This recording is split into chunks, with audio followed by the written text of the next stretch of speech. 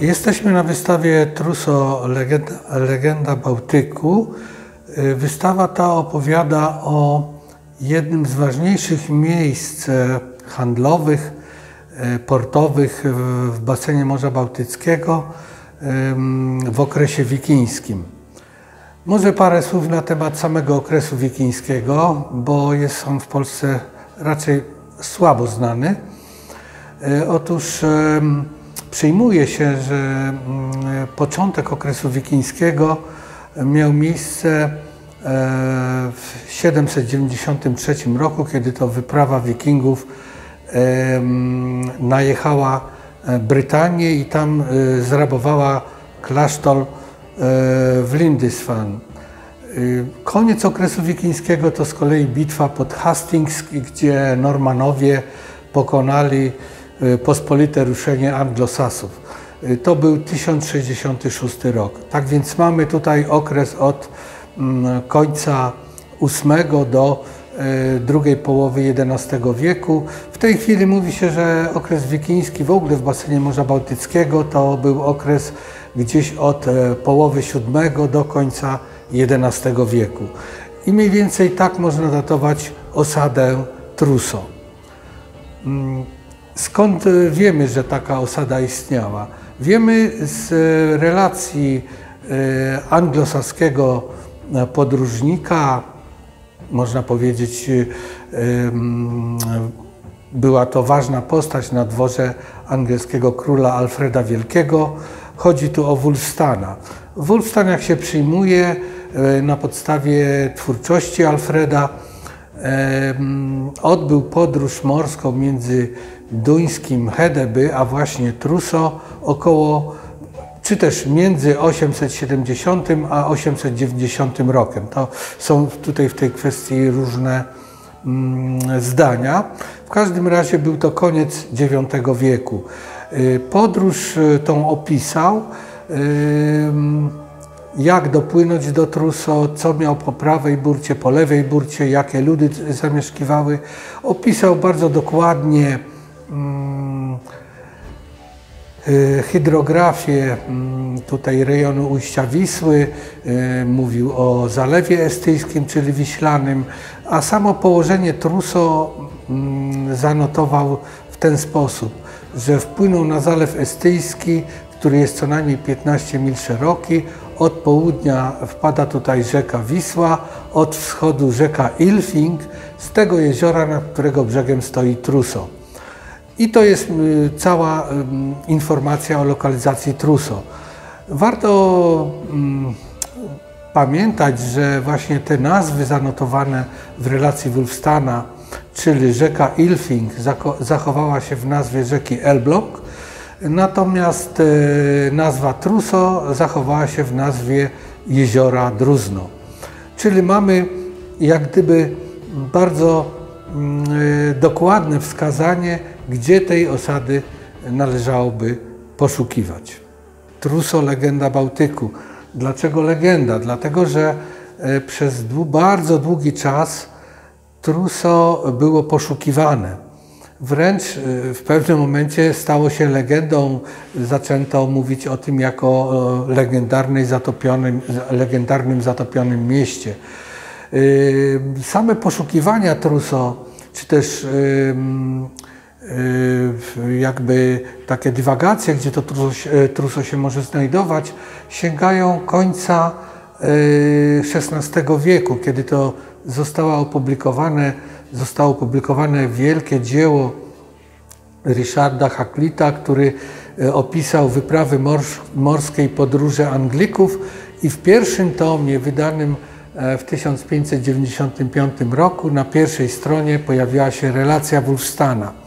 Właśnie Hacklit dotarł do tej e, relacji i wówczas to z takim jego komentarzem było, że prawdopodobnie Truso leży gdzieś koło Gdańska. To była pierwsza próba lokalizacji tej osady. No potem już w XIX wieku, kiedy wchodzi archeologia, następują mm, różne próby wskazania miejsca, gdzie to Truso mogło być. Yy, no, do, przed wojną do, ugruntował się pogląd, że Truso prawdopodobnie będzie na terenie Elbląga, a mm, takim asumptem do tego, że lokowano truso było odkrycie na polu nowomiejskim w Elblągu w 1936 roku cmentarzyska, na którym odkryto 35 grobów skandynawek, więc przypuszczano, że właśnie gdzieś w pobliżu tutaj yy, może się znajdować osada Truso. I praktycznie taki pogląd przetrwał aż do yy, 1981 roku, kiedy yy, właściwa osada Truso została zlokalizowana nad jeziorem Drużno. Na wystawie pokazujemy mapę ówczesnego y, basenu Morza Bałtyckiego z najważniejszymi y, miastami, emporiami, które tworzyły sieć handlową y, właśnie. Były to głównymi takimi miastami, to były, było Hede, był nasady Półwyspu Jutlandzkiego, Wolin, Truso, generalnie Wolin obsługiwał E, ujście Odry, e, chociaż leży nad Dziwną. Natomiast e, Truso rejon ujście Wisły. Następne takie emporia to Birka pod Sztokholmem, Kaubwiskiauten na Sambi, Grobina, Nowogród i Stara Ładoga. To były te główne emporia handlowe, które obsługiwały gospodarczo, handlowo zarówno Y, y, tereny Skandynawii, jak i tutaj Słowiańszczyznę zachodnią i wschodnią. Na wystawie pokazujemy to, co było przedmiotem handlu oraz to, co wytwarzali mieszkający tutaj Skandynawowie. Wystawa jakby nawiązuje w tym swoim pierwszym pierwszej planszy do e, innej wystawy, którą e, prezentujemy tutaj w naszym muzeum, to jest e, Goci, Gotów. Wtedy bardzo istotny takim szlakiem handlowym był szlak bursztynowy, który gdzieś tam z Sambi prowadził do Imperium Rzymskiego. I jakby nawiązując do tego pokazujemy ogromną ilość bursztynu, wyrobów bursztynowych, które odkryliśmy w Truso i które również pokazują, że bursztyn e, był, czy wyroby bursztynowe były jednym z głównych e, towarów handlowych, oprócz soli. e, i oprócz niewolników. Pokazujemy też bardzo charakterystyczne wyroby skandynawskie. Chodzi tutaj o ozdoby.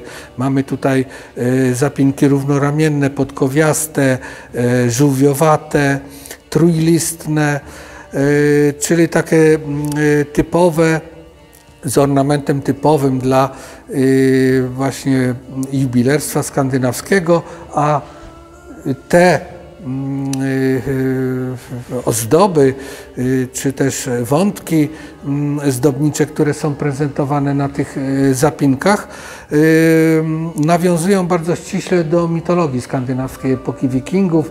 Tam mamy pokazanego Odyna, mamy pokazanego Tora, również mamy takie zapinki w kształcie e, walkirii, czyli mamy cały panteon no, asów e, i olbrzymów e, z mitologii skandynawskiej epoki wikińskiej. Ale mamy też bardzo ciekawą E, ciekawe znaleziska świadczące o tym, że mm, docierali tu również, e, czy też mieszkali pierwsi chrześcijanie na naszych ziemiach. Mamy mm, medalik wykonany z monety Ludwika Pobożnego, y, datowany gdzieś na 822-840 rok mniej więcej. Y, na, tym, na tej monecie jest napis y, Louis Pi, Ludwik Pobożny oraz religio Christiana, religia chrześcijańska jest krzyż równoramienny i kościół z krzyżem. No i samo łóżko, które jest tam zamontowane na tej monetce, to jest to y, z gruntowną znajomością symboliki chrześcijańskiej.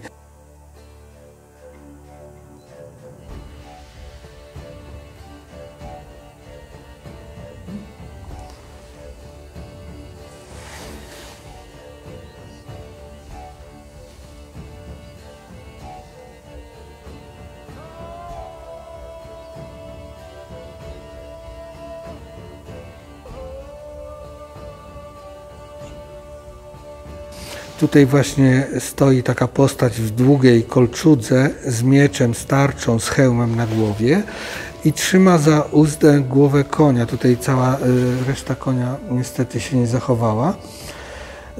No, Walkiria to takie walkirie, to były takie boskie dziewice, które, e, które odprowadzały zmarłych herosów do Walhali, do Boga Odyna mm, i tutaj właśnie e, jest pokazana taka walkiria. Wracając do opowieści o tych naszych znaleziskach, pokazałem tutaj E, właśnie wyroby jubilerskie, pokazujemy tutaj wyroby jubilerskie, ale również e, działały tutaj warsztaty szklarskie, które wytwarzały paciorki szklane techniką wyciągania. To są tutaj widać w gablocie te małe pacioreczki, właśnie żółte, niebieskie. Natomiast te większe okazy to są już importy bądź z Europy Zachodniej, bądź z kalifatu arabskiego. No a tu na dole mamy mm, potłuczone naczynia szklane. Są to kielichy nadreńskie, pucharki. Nie są to zwykłe mm, naczynia do picia wina, ale jak się okazało, są to mm, elementy naczyń liturgicznych, które w Truso odkryliśmy. Właśnie oprócz kielichów znaleźliśmy tutaj dzbany, Mm, typu Badorf i dzbany typu Tating z krzyżami cynowymi na brzuźcu. Y, tutaj mamy właśnie akurat y, mm, dzbany typu Badorf. One wszystko pochodzą z pierwszej połowy IX wieku. I łącznie z tymi elementami związanymi z e, mm, z symboliką chrześcijańską, typu właśnie e, jak ten medalik, typu krzyżyk tam dalej taki bursztynowy, e, czy też e, kotwica, no świadczą one bardzo wyraźnie o tym, że nie tylko przybywali tu chrześcijanie w Truso, ale również, że odprawiano tu mszę już w pierwszej połowie IX wieku, co jest chyba jednym z najciekawszych odkryć już po samych badaniach bo przecież te przedmioty, które wyciągamy, najpierw konserwujemy, potem szukamy do nich analogii, potem je interpretujemy i w tym momencie właśnie taka jest nasza interpretacja. Tutaj mamy też pokazane elementy uzbrojenia, mieczy, e, topory. E, co ciekawe, e, ponad 15 elementów mieczy odkrytych w Truso świadczy o tym, że były tutaj składane bądź produkowane miecze. No miecze to jest naprawdę wyrób też poszukiwany i bardzo y, drogi. Y, mamy tutaj również sporo przedmiotów y, mówiących o życiu codziennym mieszkańców Truso. Są to mm, przedmioty, które na co dzień były używane, na przykład noże, klucze, kluczyki, Y, mamy tutaj osełki, mamy nożyczki, no ale również y, łyżwy kościane, y, czy też raki do chodzenia po lodzie, co też jasno pokazuje, a tych raków naprawdę odkryliśmy bardzo dużo, jasno pokazuje, że truso funkcjonowały również zimą, kiedy akweny wodne zamarzały i wtedy takie łyżwy czy też płozy kościane, na które kładziono skrzynie z towarem, były ciągnięte przez konie, które były, żeby się nie ślizgały po lodzie, miały wbite w kopyta właśnie takie raki. To, mm, to są typowo skandynawskie e, wyroby. Mamy tutaj zrekonstruowany fragment wnętrza e, chaty mm, takiego typowego e, domu mieszkalnego, można powiedzieć, aczkolwiek te domy y, w Truso pełniły y, no, kilka funkcji. Były y, zarówno miejscem, gdzie mieszkano, przygotowano pożywienie, gdzie tkano, tam przecież warsztaty tkackie odkryliśmy, ale również wytwarzano różne przedmioty, czyli były to jednocześnie miejsca, gdzie, gdzie mieszkała dana rodzina, a jednocześnie gdzie mógł jakiś rzemieślnik na przykład obrabiać bursztyn, czy obrabiać e, e, poroże, wytwarzać grzebienie. Największy zabytek, jaki odkryliśmy w Truso, to jest fragment kamienia żarnowego. To jest też skandynawski granitoid trapakiwi, przywieziony tutaj właśnie wstępnie obrobiony, jeszcze nieużywany. W każdym domu było palenisko e, w obstawie kamiennej, e, no a e, wzdłuż ścian były tak zwane ławy drewniane, na których mieszkańcy spali. W Truso odkryliśmy też kilka zarysów czy też pozostałości po łodziach. Mniej więcej tak zaaranżowaliśmy tą wystawę, że dwie główne gabloty stoją w takim konturze, zarysie łodzi. Odkryliśmy właśnie y, w obrębie tych zarysów łodzi bardzo dużą ilość nitów szkutniczych, które służyły do, do łączenia klepek poszycia łodzi.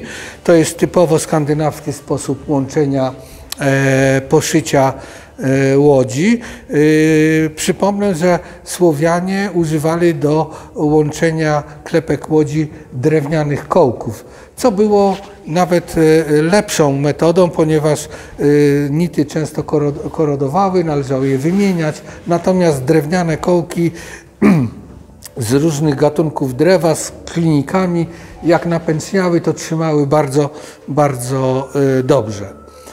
No, odkryliśmy też y, y, inne przedmioty związane y, z życiem codziennym, a generalnie można powiedzieć z rozrywkami, jak się do niedawna uważało, czyli pionki do gry Hnefataw. Wykonane są z kości, z poroży, z bursztynu najwięcej, ze szkła, z brązu, ale również, e, również e, z fiszbiny e, waleni. Czyli mo, można powiedzieć, że te pionki wykonane z fiszbiny wielorybów, znalezione w jednym miejscu, mogą świadczyć o tym, że w tym domu mógł mieszkać Norweg, bo w zasadzie Norwegowie polowali na, na wieloryby. Przy czym sama gra Hnefataft jest bardzo y, taka, mm, można powiedzieć, y, y, prosta, nieskomplikowana. Są to dwie jakby armie, które, które, które walczą między sobą i chodzi o to, że mm, żeby dojść do któregoś z narożników tej planszy. Natomiast no, wydaje się, że nie były to tylko czyste rozrywki, ale również e, te gry pełniły swego rodzaju funkcję e, wróżby, wróżenia, tak? Wróżenia, żeby na przykład przed wyprawą zasiadano jakąś y, morską, zasiadano właśnie do takiej gry i w zależności od wyniku tej gry podejmowano tą wyprawę, bądź też z niej rezygnowano.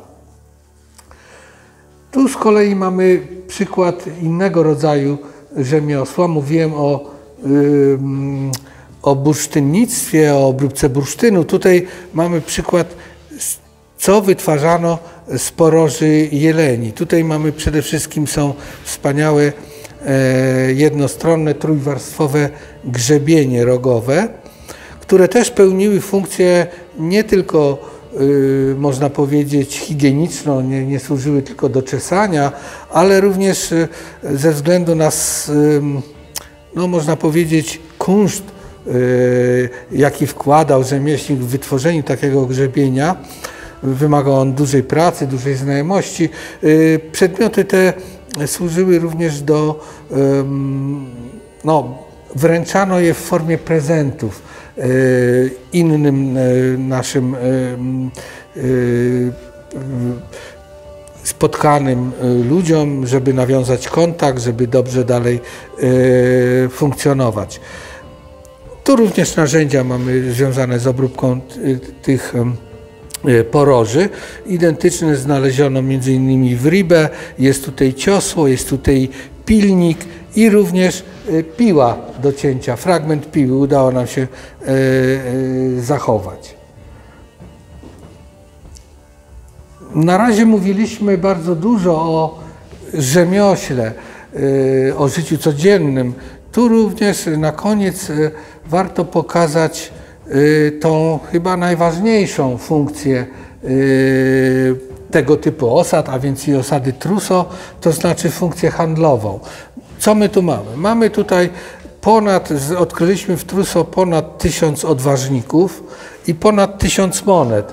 To w tych dwóch gablotkach są pokazane, głównie to były pocięte już monety i w no, 99,9% to były wszystko dirhemy mm, arabskie, głównie dynastii Abbasydów. Y, I one tutaj właściwie napływały w zamian za różnego rodzaju towary. Mówiłem o bursztynie, mówiłem o broni, ale przede wszystkim y, takim towarem bardzo y, poszukiwanym w kalifacie arabskim był człowiek, czyli niewolnik. W strefie portowej Truso odkryliśmy kajdany do skuwania rąk, a tak więc można domniemywać, że te, to srebro, które tutaj odkryliśmy, napłynęło w zamian za niewolników. Jak się odbywał handel innymi na przykład towarami, bo mamy tutaj malutkie odważniki, tak, na przykład ustalano cenę w srebrze za jakiś towar, e, nie wiem, za jakiś e, wyrób bursztynowy czy za, za miecz.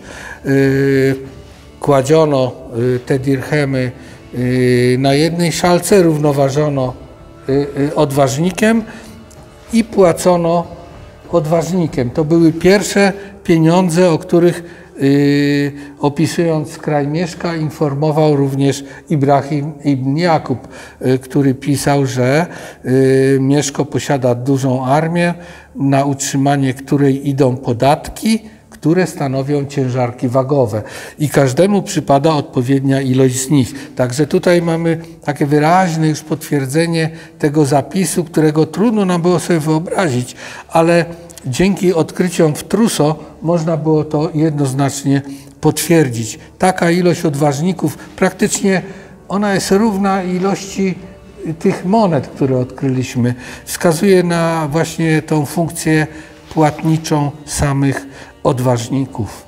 Można sobie te przedmioty, które tutaj prezentujemy, bardzo e, dokładnie obejrzeć. Niektóre e, są właśnie e, wyeksponowane specjalnie, żeby na nie zwrócić uwagę, na specjalnych kubikach. No i może słowo na zakończenie o tym, co po Truso i jak to się stało, że Trousseau y, zniknęło y, z historii, z dziejów historii. Otóż e, y, podobnie jak z innymi tego typu emporiami, czyli na przykład Hedeby czy Birka pod Sztokholmem, również i Trousseau wraz z końcem okresu wikińskiego traci swoje znaczenie. Warto pamiętać, że tego typu wikińskie mm, emporia handlowe, one były położone z dala od otwartego morza, jednak były, miały dogodne połączenia z nim. Natomiast e, zastąpiły je już e, nowe, nowe porty, nowe miasta, e, które miały za sobą już całą strukturę i całą potęgę państw wczesnofeudalnych. Y, generalnie można powiedzieć, że to chrześcijaństwo spowodowało, że tego typu wikińskie emporia y, straciły swoje znaczenie. I tak y, następcą wikińskiego Hedeby stał się królewski Szlezwik.